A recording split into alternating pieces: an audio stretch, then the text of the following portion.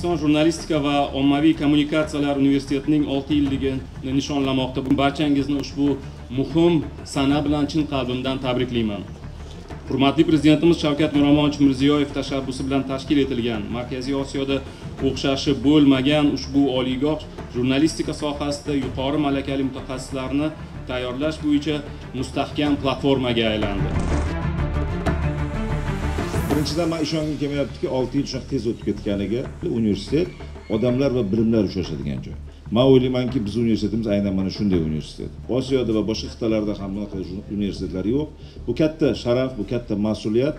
Shuning uchun man birinchi bo'lib hurmatli prezidentimizga shu universitetni bizga ochib berganlariga asos solib berganlariga katta rahmat aytmoqchiman.